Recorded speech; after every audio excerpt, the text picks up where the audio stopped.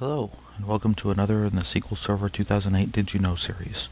My name is Aaron Lowe. I'm a Magenic Senior Consultant out of the Chicago office, and today we're going to take a look at SQL Server 2008 Data Collector. This demonstration will be using the February 2008 CTP of SQL Server. So, go into Management Studio.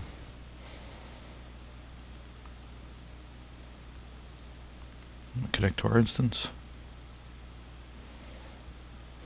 You'll notice that SQL Server Agent is running. I've turned it on. And we go down to Management. And under Data Collection, notice we have nothing currently. It's not turned on as the icon shows. Right click and we configure the Management Data Warehouse. This is where we're actually going to store the information that we capture, the data that we capture. So we give it a server name.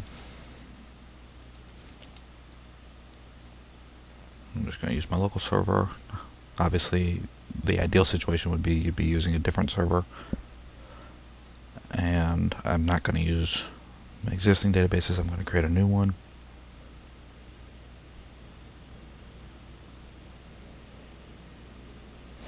I'm just going to call it data capture.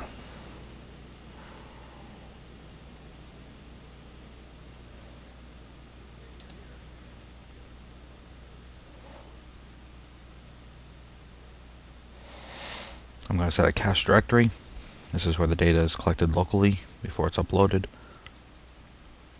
And I'm just going to go ahead and put it in the cache directory. This directory was not created by default. I actually created that directory earlier.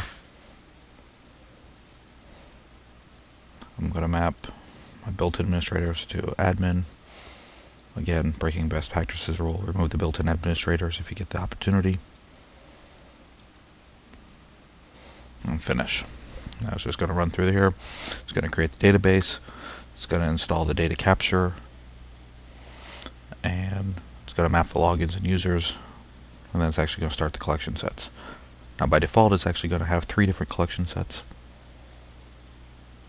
But what's nice about it is we can also create our own through T-SQL as well as an API interface.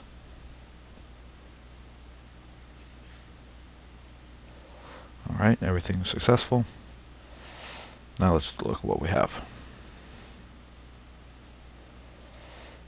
So we have system data collection sets. Again, these are the three that it automatically generates.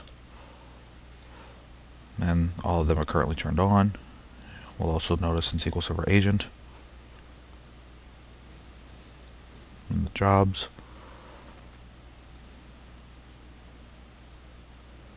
It's actually created a set of jobs for those. So the collection is going to upload. Let's take a look at the disk usage one. I'm not going to go through and detail all of these, but just to give you an idea. Obviously you can stop, collect and upload now. I've got into properties here.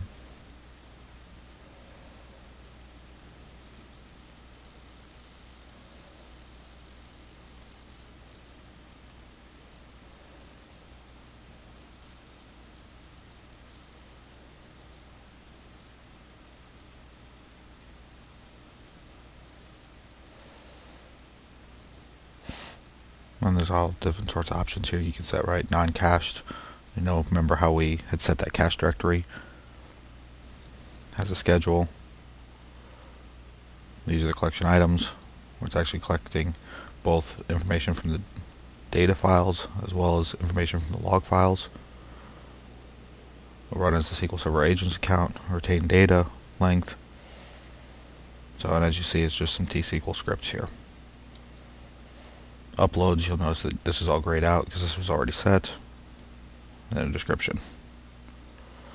So if we want to take a look at it, we can collect and upload now. I'll go ahead and do that with all three.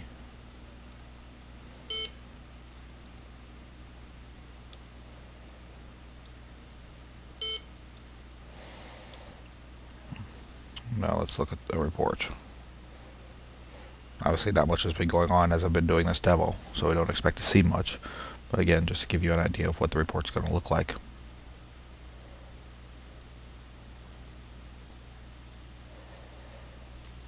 I do apologize for the slowness of this. I'm running on a VPC. Obviously, this would be much faster in a real server environment.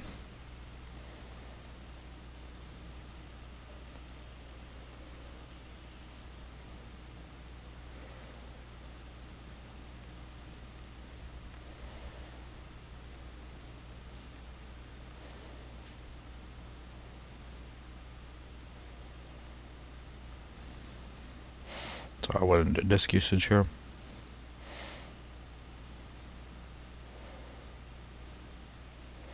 you can see there's a data capture. We just started that, or we just created that, excuse me. There's a system databases report server.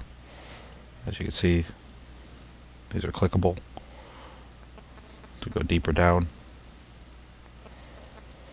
Obviously, these are just RDLs that have been created through reporting server. So it's very useful data. And you'll notice, well, actually you won't notice, but if we were to add data here,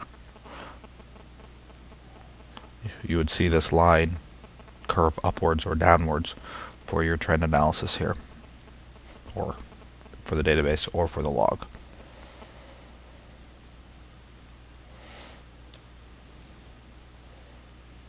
You can't script the data collection, just like everything else.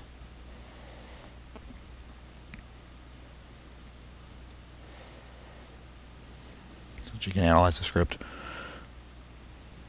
Currently, the GUI in the CTP6 or the February CTP does not allow you to create data collections.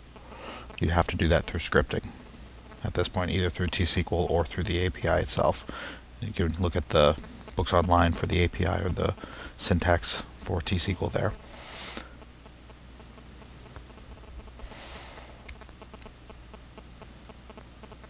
And here's our data capture that we just created. To actually go into this, as you see, it's created tables and such.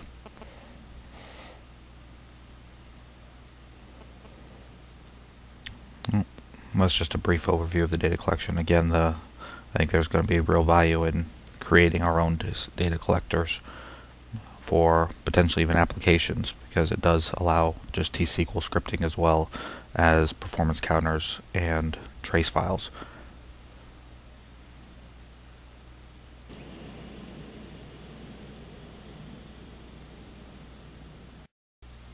Well, I hope you enjoyed this overview of the data collector in SQL Server 2008, and I want to thank you for taking the time to watch this screencast.